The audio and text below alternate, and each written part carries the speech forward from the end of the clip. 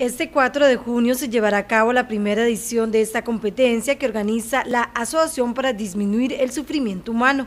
La competencia saldrá a las 7 de la mañana de la Feria del Productor Generaleño. Estamos eh, realizando una carrera que es muy trascendental porque a nivel de, de la zona sur va a ser la primera carrera federada ¿verdad? que vamos a contar. Vamos a contar con con la presencia de, corredores tanto nacionales como internacionales, ¿verdad? Va a llegar la salvadoreña Jenny Méndez, otra muchacha que es guatemalteca, al igual con grandes corredores como eh, tenemos invitado a, Abraham Serrano, a, Jonathan Varela.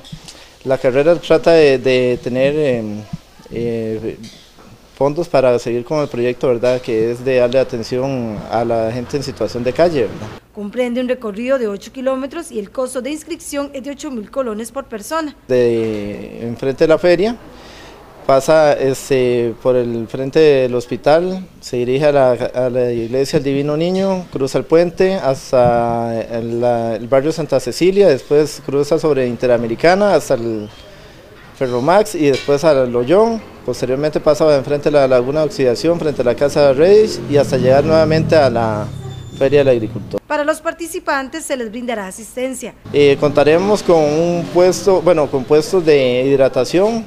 Inicialmente habíamos dicho que cada dos kilómetros, la fe es hacerlo cada kilómetro para el, corredor que no está muy acostumbrado esté bastante hidratado y con cada uno de los puestos.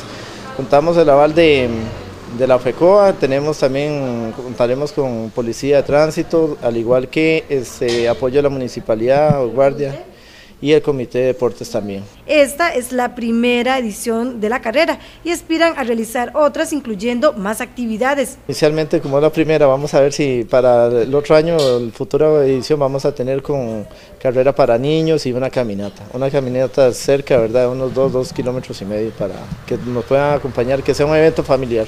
Redis, por medio de sus proyectos de la Casa Escucha y la Carpa, brindan apoyo a las personas en calle, por lo que sus recursos serán destinados para continuar con las iniciativas.